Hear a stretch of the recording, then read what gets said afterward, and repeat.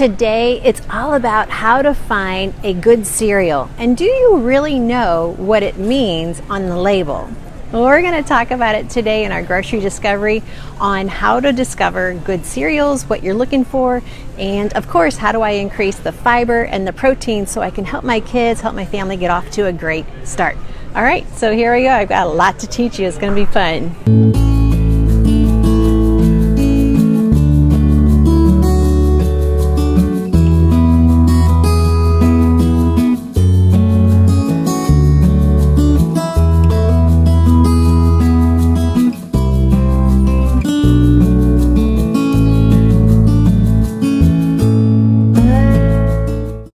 So I've got some cereals lined up here in the cereal aisle.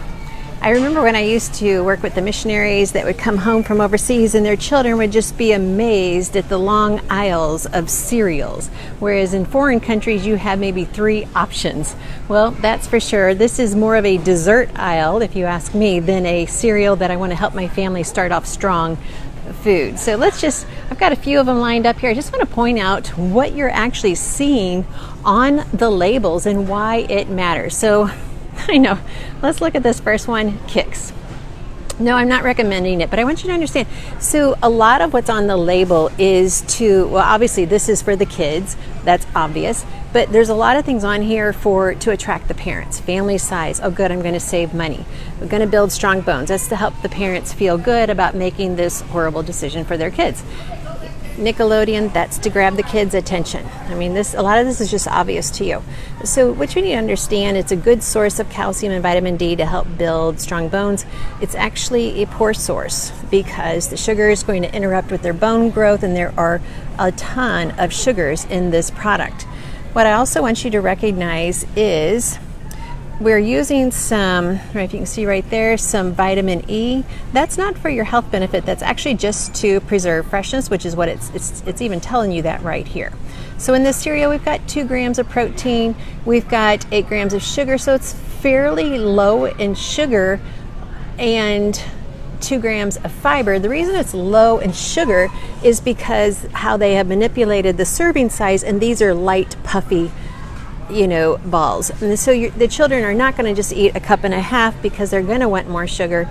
They're going to actually eat more, so the sugar count is going to go up. So basically, what I want you to recognize is this is here is only to help the parents feel good about this decision. It's truly not going to help them build strong bones. So moving on here, we've got gluten free. That sounds good, especially for everyone trying to go gluten free, but there's something you need to recognize. This is not a gluten free that's appropriate for celiac. So over on the side, now I got to find where I had that pulled out. Okay, partially produced with genetic engineering, so that's an obvious no, you do not want to buy that. Somewhere on this label, which I'm not actually finding it right now, it actually says it is produced in a facility that may have gluten. So if you're celiac, do not ever buy this. It needs, if you're celiac, it has to say certified gluten free. So this is just an attention getter. It's a seller made with real cocoa. That's actually the best ingredient in this cereal. All right, so moving on, we have Cheerios. So right here can help lower cholesterol. The proof is not that Cheerios lowers cholesterol. It's just that fiber lowers cholesterol. Okay, so we have Simply Made gluten-free. Once again, um, it, they're saying they do not use any genetically modified foods. They're using tocopherols as their freshness ingredient, which is important. We're going to get to that. Three grams of protein and one gram, three grams of fiber. So Cheerios is the most popular cereal, actually the highest selling cereal of all time. What you need to also understand is over $2 billion a year is spent on advertising. And so that makes a big difference as to what your children want, what you're going to buy. All of this labeling is all going to come into play with that. Okay, so I'm going to share with you how to increase the protein count, how to increase the fiber, even if you do buy a cereal like this. So we're going to talk about that in just a minute, but let's go and continue on. We've got some Special K here. So Special K uh, made by Kellogg's. And so Kellogg's is still using BHT for freshness. Now, the government agrees that BHT is not harmful in small doses, but they ha- it has been proven in many studies that large doses of BHT can lead to different types of cancers.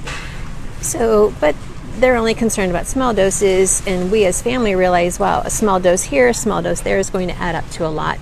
So, right here, we're talking about made with fiber, B vitamins, and iron, powering your strength. So, yes, fiber, B vitamins, and iron do power your strength. Whether or not this food will do that has not been proven. Okay, so here we have Kellogg's All Bran. And so this is, you, you look at it and you think, oh, fiber, and that's going to like this. Okay, so let's look at the label.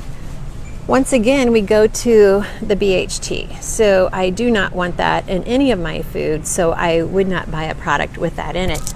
That was one of the first ingredients I removed when we first switched over to eating healthy.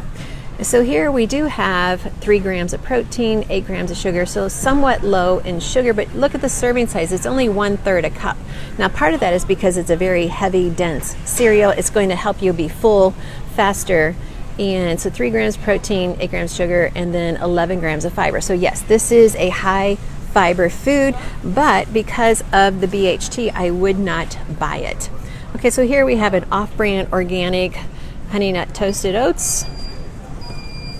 And let's see what we got here. So this one is using vitamin E uh, to maintain freshness, those are usually synthetic. Most of your vitamins are a synthetic version, and so that's not really what we're looking for. It's really your vitamin section, when you're looking at all of these, is a selling point. It's only to get you to buy their cereal. All right, so here we have four grams of protein, 11 grams of sugar, three grams of fiber. So this is a one, one and a third cup serving so it is organic, so if you want to feel good about that, then you would use this.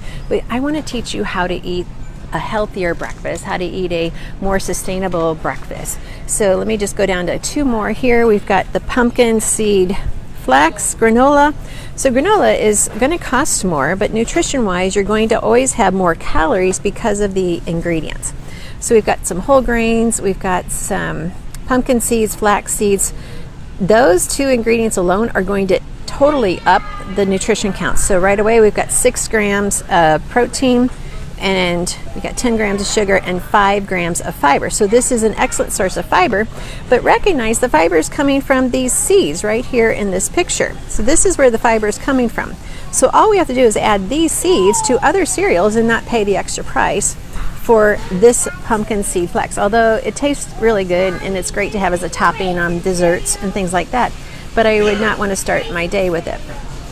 Okay, if you were to buy a cereal that you know is just a simple one, then let's look at Rice Krispies. So Rice Krispies boast of only basically it has rice, it has sugar, and salt and a malt flavor. So very few ingredients. And then we look at the preservative that they're using and they actually do not list a preservative. So Kellogg's usually uses BHT in all of their foods, but I'm not seeing it listed here. And actually, they're not even listing any vitamin E that would help preserve it as well. So, as far as ingredient wise, this would be a better choice. As far as protein, we are only getting three grams. As far as fiber, we got zero. So, this is zero fiber. My husband's doctor was writing prescriptions faster than our hearts were beating with stress. Yet, could there be another way? Is there another answer? Well, that is when a friend suggested to me, Annette, go back into God's Word, start reading it differently, and start with the Daniel fast. Well, those words changed the trajectory of our lives. And 30 days later, we were prescription free, 35 pounds lighter, combined total, lower cholesterol, lower triglycerides, and we knew that God had answered our prayer for greater health His way. Now, if you are praying for an answer on how to get started, I highly recommend the Daniel Fast. First, go to the biblicalnutritionacademy.com website, click on the Daniel Fast, and sign up. It's that easy. Plus, the link will be in the show notes below some better options to buy. I found them on the lower shelf, which is usually where the better stuff is. This is a super heavy box. So um, let's look at this. So 40 grams of whole grains it's bragging about. Excellent source of fiber. So let's look and see if it's telling you the truth. So we have in two thirds of a cup. Now it's a very heavy, dense cereal, so two thirds of a cup might be okay for most people. Although I believe most people will pour a cup and a half before they even realize what they have in their bowl. And then we have fiber, seven grams. So good fiber, a little bit high on sugar, but that fiber is going to offset that sugar. Seven grams of protein. So this would be a good option if you're going to eat cereal. So looking down below, we want to know, so they added the tocopherols, which is vitamin E, a synthetic vitamin E, added to preserve freshness. So they're not using the BHT, which is really good. So this is an option. And here we have crackling oat bran made by Kellogg's. A little bit higher in calories for three fourths of a cup, eight servings per container. I would bet that this would probably only have four to five servings because of what people normally pour. So we've got four grams of protein. We have seven grams of fiber, so we do have some high fiber. 16 grams of sugar, so it is somewhat high in sugar. Down below, we look we're looking for what is the preservative. All right, so I'm not seeing the BHT in this. Actually, I'm not even seeing the vitamin E listed. So it's using something else as an ingredient for it. Now, recognize I'm not even talking about genetically modified or ingredients like that too much on this video. So right here we have soy ingredients. So if I ever have soy as an ingredient, I need it to be non-GMO. This is not a non-GMO, so we would not buy this. Okay, set that down. Another one I found is crunchy nuggets. So this, once again, was down on the bottom shelf right down there. It's bragging about no artificial on the front. Let's see what's on the side. So we've got whole grain wheat flour. So whole grain, this first two words, if it's a flour and there's no preservatives, you do not have a whole grain flour. It's just false leading here. So we got a barley flour and then we got some vitamins that have been added so about head, we've got six grams of protein, we've got seven grams of fiber, very low sugar, which is pretty obvious when you look at it. It's like, okay, yeah, I've got a feeling that's just going to taste like fiber.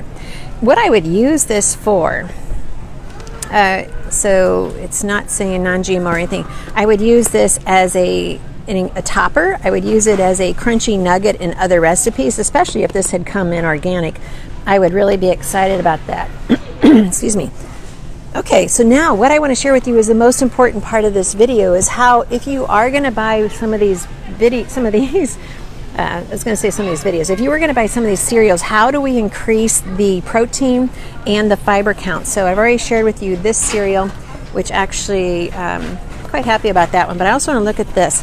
We could add a coconut protein blend to the cereal milk.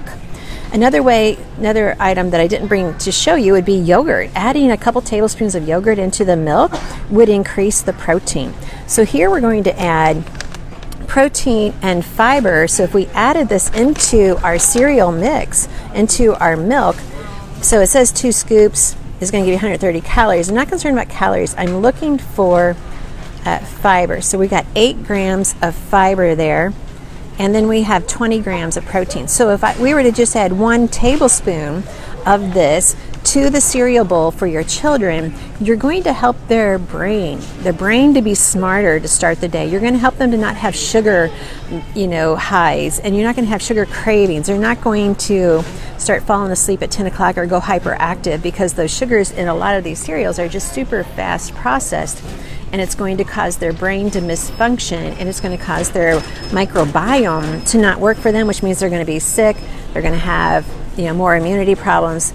So this is actually a really good option. Just add a tablespoon of this to the cereal milk. That would greatly improve it. Here's another one I found, chocolate superfood smoothie mix. So we've got all of the right check marks listed there. And chocolate milk and cereal is actually some kids might go really crazy for that and might think you're the best mom or grandma ever. So here we have we have five grams of fiber for four tablespoons.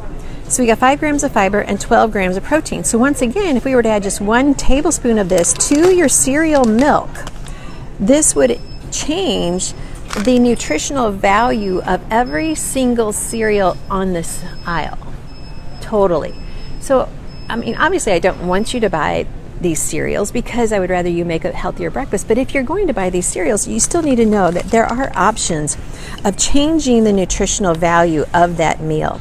We've got to increase the protein, we've got to protect the brain. Healthy proteins like this with the chickpeas and all of these different plant proteins are going to help build the microbiome, which is going to build the immune system. The protein's going to totally help them feel satisfied longer. They're not going to be craving. The fiber is going to slow down the the um, breakdown of the sugars. It's going to help protect your children. You could add nuts into any cereal. And then I also found this bare baked crunchy toasted coconut chips. That would be a fun topping on different cereals as well. So there are just different ways that you can change if you're going to buy these cereals and not have time to make a breakfast for your kids, then at least consider adding a tablespoon of these mixes into the cereal milk and you're going to totally change your children's brain you're going to totally change their their immune system and we all need help building our immune system so anyway i would love to hear your comments down below how do you increase the protein the fiber content of a breakfast meal with your family Thanks for watching. I'm Annette Reeder, the Biblical Nutritionist, and I can't wait to read your comments down below. And be sure and give this a thumbs up and let me know what would you like me to teach you in the grocery store? I hope you have learned at least one fact today. Hey, put a comment down below. What did I teach you today that you didn't know before? I appreciate you watching and hanging in there, even though this camera's been kind of shaky today. So thanks for watching, and until next time, I want you to stay healthy, happy, and on mission.